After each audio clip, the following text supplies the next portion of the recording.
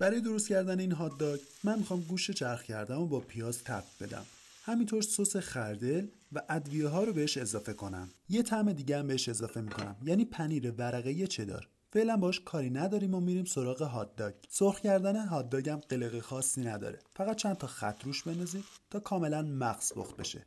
یه کوچولو آب بریزید تا این بشه نتیجه کارتون. من همیشه دوست دارم برای هات داگ از نونای نسبتا شیرین استفاده کنم. چون هم بافته بهتری داره هم مزه بهتری بهمون میده. هاتداگو بذارید داخلش چرخ کرده پنیر چدار و دوباره در ظرف رو بذارید. مرحله آخر دو الی سه دقیقه بیشتر زمان نمی‌بره.